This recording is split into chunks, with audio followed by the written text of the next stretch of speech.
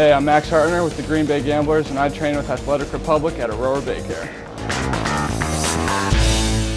Period, and because of the major penalty, I do know this rule, Ron. The power play continues on. Oh, yeah, it does.